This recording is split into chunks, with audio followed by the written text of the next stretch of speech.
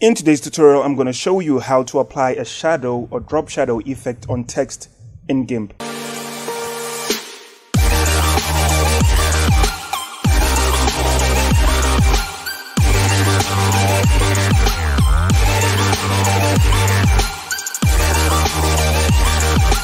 Hi everyone, it's Tawanda from Little Nzou and today I'm going to show you how to apply the drop shadow effect or shadow effect on text in GIMP. Let's get started. As you can see, I've already opened up GIMP and right here I have a transparent background. So the first thing we're going to do is color that in. I'll pick this blue color here. Right. And then I think I'm just going to create another layer. There we go and I'll color that in with white.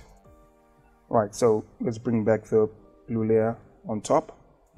Right, so what we're going to do here is we're going to start off with our text, Tawanda. Alright, and then I'll choose a different font, let's say low brush. Alright, then change the font size to 250 so that it's more visible. Now let's just select the move tool. Rather, let's just select the alignment tool.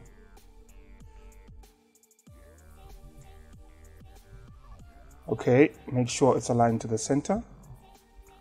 Right, so you will find the drop shadow effects or long shadow effects under filters, light and shadow, then light and shadow and then we have a drop shadow and long shadow but before we do that I'm just gonna duplicate this layer here think we can just duplicate it one more time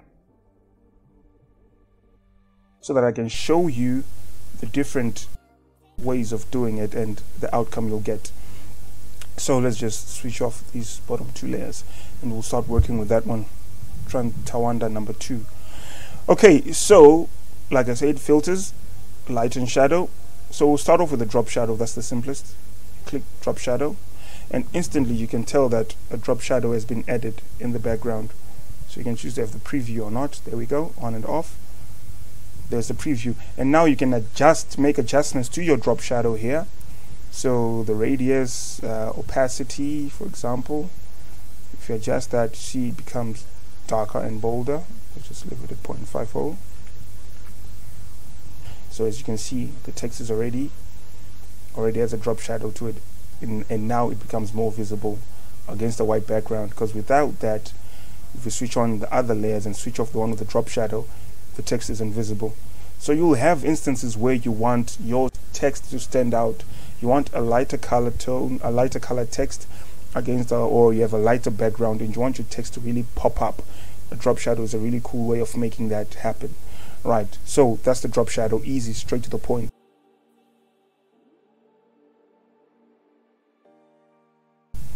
Switch that off. Let's switch that on. Let's move on to Tawanda number one. Now, filters, light and shadow, long shadow. So the moment you apply the long shadow effect, you can actually see that it looks like the shadow is protruding or is attached to the text to the text but in this case since our text is white the shadow is going to look white let's just change the color quickly and just make it a darker shade of gray like that. Yeah that. Um, select OK so you can already see that our text has like this 3D effect that's that's now been applied to it. Now you can actually choose to go shadow minus image or shadow only only under composition. So if you choose shadow only the text has disappeared. If you choose shadow minus image now the text has the cut the text is still visible but rather the text has disappeared but it's left an impression of what it says. So you can actually still still tell what it says or the form that's been used in this instance now and when it comes to the shadow itself you can actually adjust the shadow length. So I missed the first option here you can choose the style you need to use. Infinite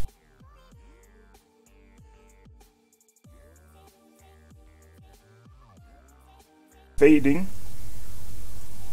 Again there we go. And fading fixed length.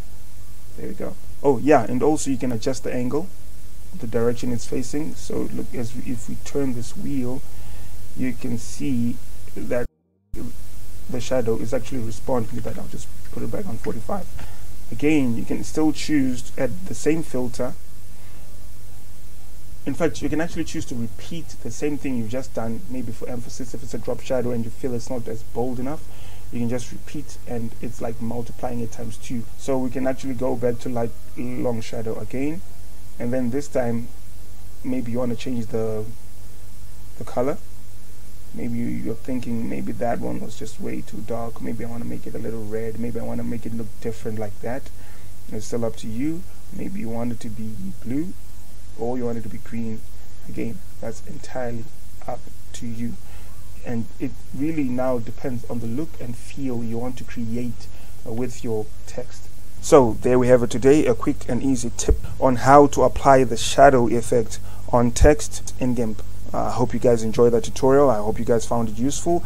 If you haven't subscribed to the channel, don't forget subscribe and click on the notification icon so you guys don't miss out on content we publish. And yeah, don't forget to like and share as well. Thank you guys for watching.